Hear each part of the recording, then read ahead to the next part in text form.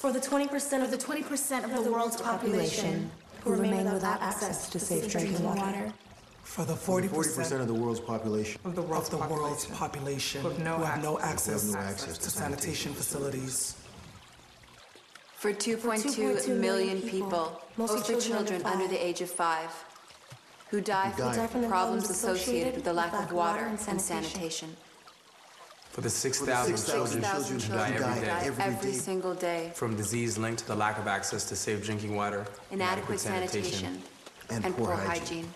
For the mothers and daughters We have to walk who have several to walk kilometers, several kilometers every day just to get water, weighing as much as 20 kilograms. for half the world's hospital, hospital beds, beds filled by filled by patients suffering patients from waterborne from waterborne diseases. For the 2.6 Billion people living without Without access. access to sanitation. Almost 1 billion, one billion of of whom whom are are children.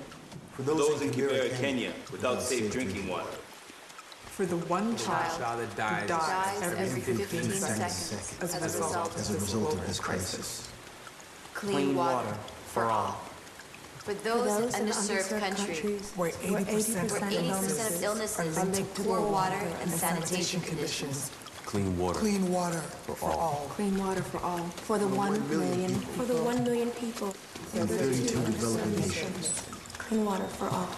Clean water for all. Clean water for all. Clean water for all. clean water for Clean all. water for Clean all. water for all. Clean water for all. Water is life.